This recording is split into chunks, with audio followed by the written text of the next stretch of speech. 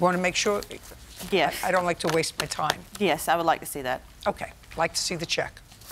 And included with that is my bank statements as well. You'll look on my bank statements, you'll see the highlighted deposits that were put into my account to pay for said money Just a minute. So I have one money order for $200, Yes. and that was Bird. Tell me what the date is here, would you please? Could you bring it just a little Rent- closer? What? Could you bring it just a little closer? Well, That looks I like just 8/9, well eight nine, 2016. but I was right. looking something over Oh. here. Uh, No, it doesn't say oh, it does. where. Isn't that it right there? August, August 9th, 9th, 2016. 2016. Perfect. So that he paid that to the landlord, and then he paid again $795 for rent, and then he paid February 2nd, 2017. I have a check for $895. No, that was actually my money because I gave him the money to put into his account to get a money order no, from no, his no. bank. Now, No, that- now that's- that's, listen to me, that's slick. So you gave him money to put into his account, and at the same time, you complained to the landlord, and you wanted him evicted. Yes, it was uh, actually uh, You know, prior just a second. to- You know, I'm not. You know, I'm finding that difficult, Miss Sandy. I'm finding it difficult that you went to the landlord to have him evicted, and at the same time, I'm going to find that he paid February's rent.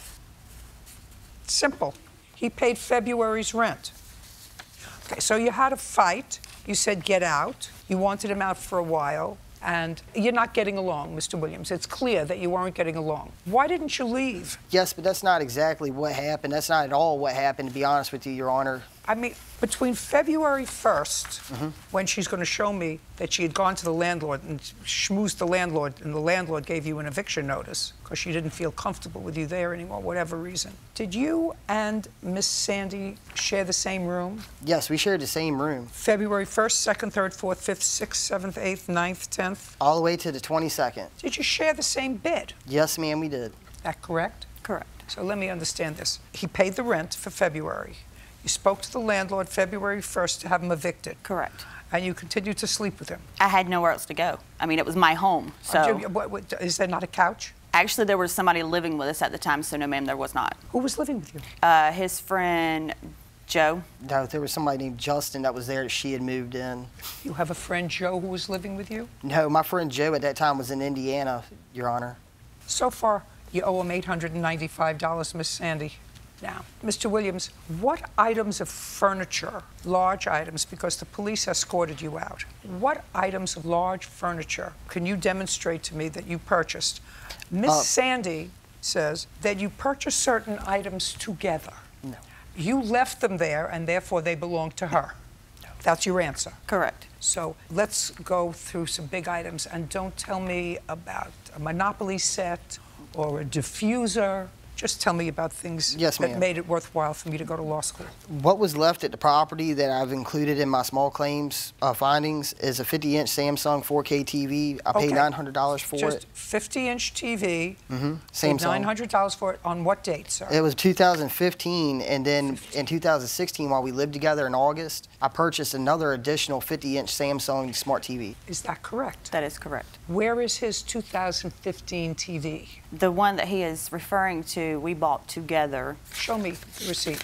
I don't have the receipt. Where is the 2015 TV? Uh, it's not actually a 2015 TV. It was actually used. We bought off of Facebook, off of Marketplace. We paid $325 for it. Your Honor, the TV that she's referring to, I bought it from a friend of mine named Brian who runs Dinwiddie Classifieds. I actually paid $320 for the television. I had $300 cash in my pocket, and I had the receipt for it right here. Your Honor, that's the one he purchased with an ex-girlfriend by the name of. Just, just a second. I don't care who he purchased it with. Where is it? He's got it.